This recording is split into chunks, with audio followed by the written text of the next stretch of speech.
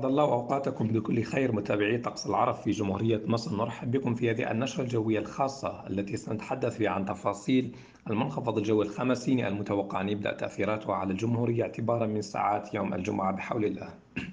حيث وخلال ساعات يوم الجمعة بإذن الله يتوقع أن يتمركز المنخفض الجوي فوق منطقة الدلتا بقيم ضغط جوي تلامس الألف ملي بار وبالتالي تنشط على إثر الرياح الشمالية الغربية والغربية على المنطقة الشمالية الغربية من الجمهورية اعتبارا من ساعات صباح يوم الجمعة لكن يتعمق هذا المنخفض الجوي أكثر خلال ساعات ظهيرة يوم الجمعة إلى ما دون الألف ملي بار فوق منطقة الدلتا وبالتالي تنشط الرياح الغربية والجنوبية الغربية في عموم مناطق الجمهورية وبالتالي تنشأ موجات غبارية في عموم تلك المنطقة. تشمل كل من العاصمة القاهرة المنطقة الغربية من الجمهورية وأيضا شبه جزيرة سيناء وبالتالي ينبه من التدني الكبير في مدى الرؤية الأفقية بسبب الغبار خلال نهار يوم الجمعة بإذن الله.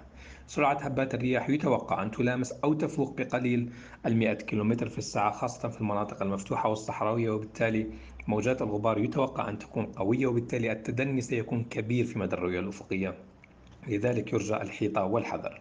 بالإضافة للرياح والغبار يتوقع أن ترتفع درجات الحرارة بشكل كبير يوم الخميس بفعل يوم الجمعة عفوا بفعل هذا المنخفض الجوي الخمسيني لكن اعتبارا من ساعات مساء وليل الجمعة ومع ابتعاد هذا المنخفض الجوي الخمسيني تبدأ كتلة هوائية باردة تؤثر على الجمهورية وبالتالي يوم السبت هناك انخفاض واضح وكبير على درجات الحرارة بإذن الله.